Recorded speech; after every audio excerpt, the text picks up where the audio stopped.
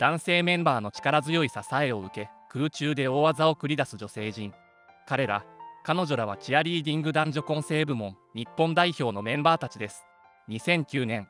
ドイツで開催された第5回チアリーディング世界選手権に出場すると世界中に衝撃を与える結果を残しました。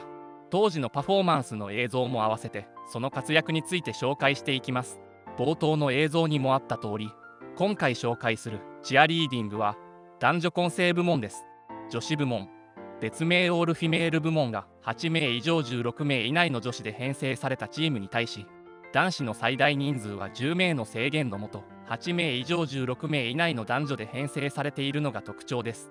そんな男女混成部門も含めさまざまな部門のチア世界一の国を決める大会がチアリーディング世界選手権となっています。チアリーディングワールドチャンピオンシップ略して CWC と海外では呼ばれているようです。そして第5回目となる同大会は2009年ドイツのブレーメンで開催されました。男女ともに日本中の強豪校からメンバーを集めたドリームチームとなっているため